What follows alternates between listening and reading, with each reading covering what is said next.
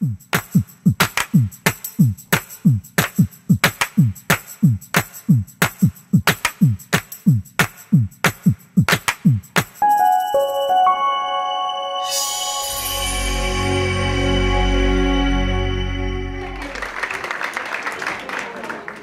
الخير بيس بي أبو نيو. قبل خمسين سنة كنت شابا يافعا لا أعرف من المعرفة والحياة أكثر من لغة المخيم ووجوه أهله. وتلك الكلمات التي صاحبتني في مشوار حياتي كلمات أبي.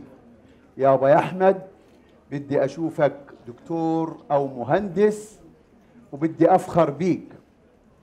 هذه الكلمات التي عاشت معي في طول مشوار حياتي. هذه الصورة هي لأحمد يوسف قبل خمسين سنة. حاولت التعرف بين وجوه زملائي في الإعدادية. لم أستطيع أن أتعرف على صورتي رغم أنني عرفت الكثير من هذه الوجوه من زملائي في الصف الثاني. مجموعة صور بعد ذلك بعد خمسين سنة بعد رحلة الاغتراب آه، والسفر والترحال. هذه صورة لي داخل البيت الأبيض مع سيدة أمريكا الأولى مس كلينتون. وهذه مع الروائي الأمريكي الشهير توم كلينسي والذي سعدت للعمل بكتابة بعض الأبحاث له عن الإسلام وعن الشرق الأوسط. وهذه مع المستشرق الأمريكي يونس بوسيتو رئيس مركز التفاهم الإسلامي المسيحي في واشنطن. وهذه طبعا صورة معروفة للزعيم العقيد القذافي داخل قصر العزيزية في طرابلس وقد كنت أقوم بمهمة إنسانية ذات طبيعة سياسية.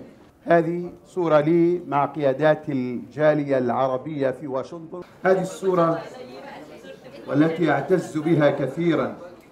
أخذت عام 2003 تجمعني وأنا بعض يهود أمريكا من جماعة ناتورا كارتا وهم كانوا يقفون معنا في التظاهرات وتحركات الاحتجاجية عندما كنا ننتصر للقضية الفلسطينية. وهذه صورة أخذناها في غزة عندما جاءوا كمتضامنين في لجان أو حملات كسر الحصار عن قطاع غزة. استقبلناهم هنا في قطاع غزة مع دولة رئيس الوزراء. الحقيقة نحن بعد نكسة 67 قبل النكسة لم أخرج من غزة ولم أغادر المخيم. بعد 67 فتحت آفاق الأرض منا وبدأنا نسافر. أول سفرة كانت إلي أطلع فيها من المخيم كانت زيارتي لغزة للمدينة. حضور فيلم سنجان عن الهند لأول مرة وأنا بتفرج على الفيلم وهالجمال الطبيعي في في المناظر اللي كانت داخل الفيلم لأول مرة بكتشف إنه في بلد أكبر أكبر من غزة. وفي جمال خارج غزة. وبعد ذلك سافرت إلى الضفة الغربية ومنها إلى تركيا لتلقي تعليمي الجامعي. آه بديت أفهم أدرك معنى سيروا في الأرض فانظروا. هذه الأرض عليها الكثير مما يستحق الحياة. لذلك بدأت رحلتي وسفرياتي لبلدان كثيرة. آه في يوم من الأيام آه كنت آه يعني وأنا بتدبر هذه المعاني وهذه الآيات كنت أقول سبحان الله الإنسان فينا كل إنسان فينا يخلق وفي داخله مثل هذا القلم. قلم معنوي يسكن في داخلنا. هذا القلم له وجهان. وجه نكتشف فيه ونسطر كل جديد في هذا الكون كل اكتشاف إن في هذا الكون. هذه الممحات التي تعمل على شطب الكثير من الموروثات المجتمعية والتقاليد والعادات التي ورثناها. وكلما اكتشفنا شيء اضطرينا أن نعود لهذه الممحاة لشطب شيء ربما كنا تربينا عليه وهو يعني أفكار مسبقة أشياء كثيرة. نظرتنا للآخر الصورة النمطية عن الآخر. بدينا نكتشف أشياء كثيرة. عندما سافرت إلى الغرب بدأت أستخدم هذا القلم كثيرا في كتاباتي آه، ما كنت آه، يعني آه، أكتب للعالم العربي في الصحافة العربية أو في المجلات الأمريكية حتى ما كتبت بنيويورك تايمز والواشنطن بوست والوورد تريد سنتر. عفوا والكريستيان ساينس مونيتور متعة هذا القلم مثل هذا الرفيق الذي شاركني حلي وترحالي وكان دائما يضطجع إلى جانبي حتى في وقت منامي. كان يوقظني في الليل لأكتب. أمريكا والعالم الغربي الذي خرجت إليه. تعلمت منه الكثير.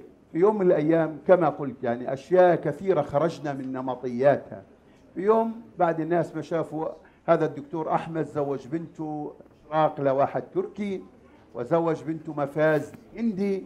بدأت الناس تسأل شو هذا الرجل؟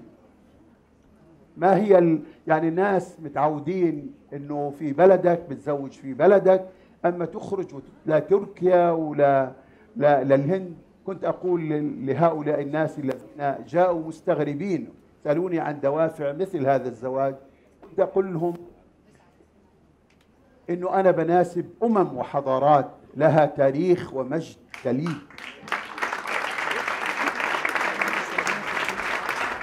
نحن كفلسطينيين أصحاب قضية منسية فأنا أريد أن أصل للعالم من خلال أبنائي وأحفادي. حتى ابني الذي يحمل الجنسية الأمريكية كنت في لحظات أفكر أن أزوجه صينية أو روسية. نحن نحتاج إلى هذا الانتشار والتواصل مع العالم العالم الذي اكتشفته واكتشفت أن فيه الكثير من الخير وعن الكثير من المعروف والكثير من الصداقات التي نحتاج لها دائما. بقت تجيني بعض الأصدقاء وبعض نساء الحي. بالك يا دكتور بتلاقيناش لهالبنات عرسان مثل عرسان بناتك أزواج بناتك. كنت أشعر في تلك اللحظات بالفخر بعد كثير من التساؤلات والاستغراب اللي كنت ألمحه في وجوه حتى بعض الأصدقاء. والأمر الذي اضطرني أني أكتب كأني أدافع عن نفسي لأني بناتي طلعوا برا أرض فلسطين. لكن ما شاء الله بعد ذلك كثروا اللي تزوجوا ماليزيين وأندونيسيين. هذا إضافة للناس اللي تزوجوا في الدول الغربية. دائما نحن كنا بنسأل كلنا بنحب التعايش وكلنا بنحب أن نتجه وننطلق باتجاه الآخر وننفتح على هذا الكون. لكن في لحظة من اللحظات بنلاقي إن إحنا بنخاف من الاختلاف. نرتعد من الآخر هذا بسبب الاختلاف. رغم أن الله سبحانه وتعالى يعني أرادنا أن نكون مختلفين. قل لو شاء ربك لجعل الناس أمة واحدة ولا يزالون مختلفين. لكن هذا أردنا الله وجعلناكم شعوبا وقبائل لتعارفوا. خلق هذا الكون مشرقه ومغربه لكي يتعارف العالم. وأن ننطلق باتجاه بعضنا البعض وأن نكامل هذه الحضارات تكامل بعضها البعض. في يوم من الأيام في كان حضارة إسلامية في حضارة رومانية بيزنطية والآن في الغرب. لديه الكثير من الوجوه الحضارية فيه الكثير مما يمكننا أن نتعلم منه. لما خرجت من غزة كنت أعتقد أن غزة هي محور الكون ونقطة الارتكاز الأممي. فإذا اهتزت جدران في غزة ربما تهتز باريس ولندن ونيويورك وواشنطن. اكتشفت عندما خرجت أن غزة وحتى فلسطين مش موجودة على الخارطة لهذه الدول. وبالتالي وين غزة؟ غزة التي خرجت أحمل جواز إسرائيلي travel document laissez-passer ما فيش فيه جنسية فلسطينية. ولكن عقدت العزم أن أثبت فلسطينيتي في كل محطات حياتي. ولذلك انفتحت على هؤلاء على هؤلاء المفكرين والأدباء في وشاركت وشاركت معهم منصات الخطابة في المؤتمرات سواء داخل أمريكا أو في أوروبا أو حتى في بعض الدول العربية. وجدت أن هذا الكون فيه الكثير الكثير من الخير. لكن نحن خرجنا بموروثات كثيرة سلبية. لمسنا آثارها فيما بعد. نظرتنا للآخر نظرتنا للعالم كانت سلبية بشكل كبير جدا. نشأت معنا بعض الأشياء التي توارثناها من قصص وأحاديث الآباء حول قضية الآخر وكيف الناس تخلوا علينا وضيعونا كفلسطينيين وبالتالي نشأ مشاعر وأحاسيس من العداء والكراهية والغرو والتطرف الذي ندفع ثمنه الآن. كنت أدرك وربما هذه المحطة الأهم في حياتي كانت أحداث سبتمبر. تلك الأحداث التي عشناها لحظة بلحظة. تلك الأحداث التي عشنا لحظاتها ونحن نتفرس وجوه الأمريكان عندما وقعت تلك الانفجارات وخلقت تلك الأحوال المأساوية. أمريكا لم تتصور في يوم من الأيام أنها ممكن أن يداهمها آه، وتحدث فيها مثل هذه الأعمال المؤسفة. وانفجار يعني عناوين كبيرة البنتاغون والورد تريد سنتر. ما كان أحد يتوقع أن تحدث مثل هذه الأحداث. في أمريكا كان الأمريكي آمن مطمئن طوال الوقت. وفجأة بدأوا يسألون عندنا إحنا بالمساء بعد هذه حالة الصدمة والذهول التي لمسناها في وجوه الأمريكان لقد لمست ورأيت بأم عيني تلك الملامح في وجوه الأمريكان المفزوعين والذين أصابهم الهلع. في لحظة من اللحظات بدأت وسائل الإعلام تتحدث في مسلمين ربما يقفوا خلف هذا العمل الارهابي حسب ما كانت تتناقل وسائل الإعلام. وبدأ التركيز الإسلام والمسلمين تطرف غلو إرهاب وما إلى ذلك. يا الله هذا دين الرحمة أصبح الآن في وسائل الإعلام ومن خلال حملات الإسلاموفوبيا مهدد. وأصبحنا نحن كمسلمين ترتعد فرائصنا خوفا. فكلما طرق الباب أحد كنا نقول هذا أكيد الأجهزة الأمنية الأمريكية جاي تعتقل وبدينا نسمع عن أرقام اعتقالات كبيرة وأيضا استدعاءات كثيرة لقيادات للجالية المسلمة والعربية. هذه الحالة من الفزع. بدأنا نفتش وين وين يمكن أن نجد طريقا للخلاص. بدأنا نفتش لقينا في بعض الناس بعض الأصدقاء. أنا أتذكر يعني صحيح أحد الزملات أو الزميلات في في العمل دكتورة لورا دريك بروفيسور في الجامعة الأمريكية في واشنطن جاءت تقول لي Look, دكتور يوسف, you lost everything and you have to start from the scratch. قولي وغيري يا بنت الناس. قالت لي كل ما بنيتموه في أمريكا خلال عقدين من الزمن فقدتموه. وصار يقولوا في بدو يهيئوا لكم معسكرات اعتقال في نورث كارولاينا وما إلى ذلك. أسوة بما حدث لليابانيين من قبل. هذه الحالة وهذا الفزع. بديت أنا أفكر بدينا إحنا نتعرف في كان لنا أصدقاء مسيحيين وفي كان لنا أصدقاء يهود وحتى في بوذيين. دعونا نلجأ لنتواصل مع هؤلاء. وفعلا بدينا نجلس معه بدوا يعني يهدوا من روعنا وإنه أمريكا بلد ديمقراطي وفي قانون ولن يؤخذ أحد بجريره أحد آخر. وبالتالي اطمئنوا وبدوا يفتحوا لنا بيوتهم اللي خايف اللي نعم صارت هجرة واسعة من أمريكا في من ولايات الشمال باتجاه كندا وفي بعض الناس زالوا أخذوا أولاده وطفش بسرعة هذه الحالة من الهستيريا نعم عشناها وعشنا معها تلك المعاني الجميلة لهؤلاء الناس من المسيحيين واليهود الذين فتحوا لنا كنائسهم وكنسهم واستضافونا أحيانا لعقد اجتماعات نفكر كيف يمكننا أن نخرج من هذه الورطة ومن هذا الاتهام. كانت أمريكا بالنسبة بلد إن مثل مثل الجنة نتحرك فيها بحرية وبدون أي مشاكل إلا أنه مع هذا حالة الإسلاموفوبيا هذه بدأنا نشعر بالقلق ونخشى على أنفسنا وعلى أولادنا وبناتنا وما إلى هذا مع دانيال بايبس أكثر الناس كراهية للمسلمين.